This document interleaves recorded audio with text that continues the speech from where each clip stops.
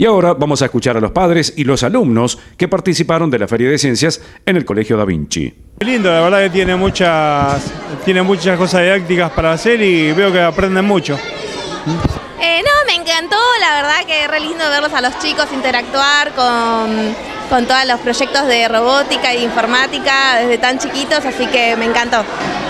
Eh, muy buena, la verdad que está muy bueno, me encantó. Que hay productos que podemos dejar de utilizar y que hay países que lo están implementando, como es el tema de los sorbetes, que no son esenciales y que hacen mucho daño. Después también en el Power eh, explicamos los tipos de contaminación para que la gente vea que en realidad estamos todo el tiempo rodeados de contaminación. Cada uno puede aportar un poco de lo suyo para ayudar al mundo y bueno, también una forma de hacerlo es concientizando a la gente de cómo se puede hacer. Buscamos eh, lo que más se contamina y lo que más, más basura había en el mundo, lo que más tirábamos y lo que menos, lo que más tiempo llevaba de degradarse y todo eso.